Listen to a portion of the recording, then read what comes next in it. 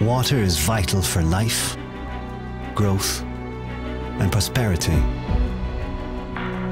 But in arid regions lacking freshwater supplies, the challenges to water security couldn't be more urgent.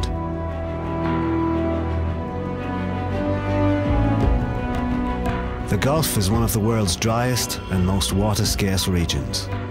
Here, the amount of water available per person is only 15% of the world average.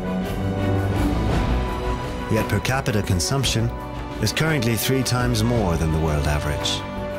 And as the Gulf's economy and population continues to grow, the rising demand for water is placing increasing strain on the region's aging water and wastewater infrastructure with existing high-energy technologies no longer able to cope. Solutions are needed now. People's very existence depends on it.